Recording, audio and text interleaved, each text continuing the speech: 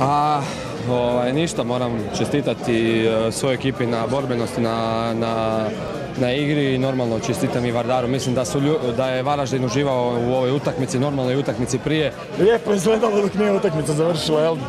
Ovaj, jedna prava utakmica do ostane polufinala. Žao mi je zbog poraza, stvarno mi je žao, ovim putem stvarno čestitam od sveg srca Varaždinskoj publici, svim ljudima koji su nas došli tu bodrit, ko zna odakle su sve došli ljudi. Evo, žao mi je zbog poraza, žao mi je, izgubili smo od jedne kvalitetne ekipe, stvarno dobre ekipe, mogli smo i mi pobijediti na kraju. Varaždin je napravio odlično, Seha Liga je uradila odličan posao. To je to što se toga tiče. Ne znam šta bi ti drugo rekao, osim, osim toga da, da su stvarno teške utakmice, da su četiri kvalitetne ekipe.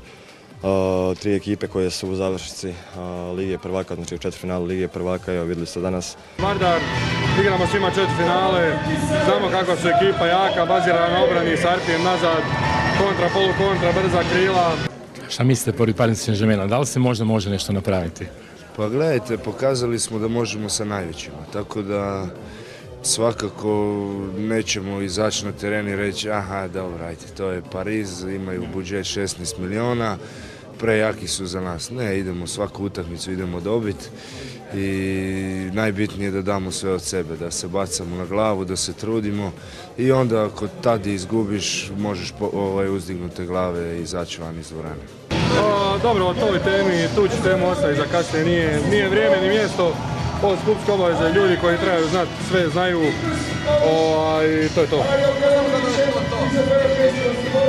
Nije to to, mislim, a, ja ostajem na raspolaganju, ali kažem opet, imaju neke stvari koje su van rukometa, koje su se dotakle mene i moje obitelji, tako da mislim da je obitelj na sve.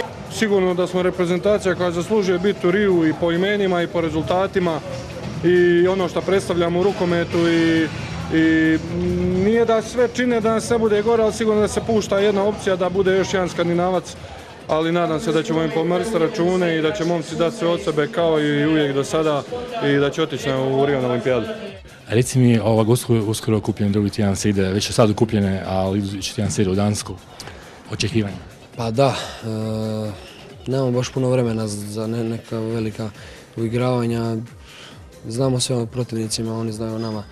Mislim da, smo pokazali da možemo puno u Poljskoj i naravno ja se nadam da, ćemo to ostvariti e, olimpijske igre i pobijediti tamo i otići. Pa sigurno da će biti jako teško, igramo protiv Danske i Norveške na njihovom domaćem terenu, Maltene i Norveška je domaćin. Sigurno da smo spremni, evo, u kontaktu sam i sa izbornikom i to što znamo što trebamo raditi. Imamo puno europskih, puno svjetskih prvenstava, ali olimpijada je olimpijada, znači svako četiri godine i svima nam je želja otići tamo, ne samo otići tamo, biti sudionik, nego jednostavno želimo se popeti na taj tron, ali polako, korak po korak, stepenica po stepenica. Idemo sad pripremiti ova tri dana, da popričamo jedni s drugima i da zaboravimo ovu utakmicu, da se ponovo zagrlimo i da uradimo za Hrvatsku ono što je najbolje, a to je da, da Hrvatsku odvedemo na olimpijadu.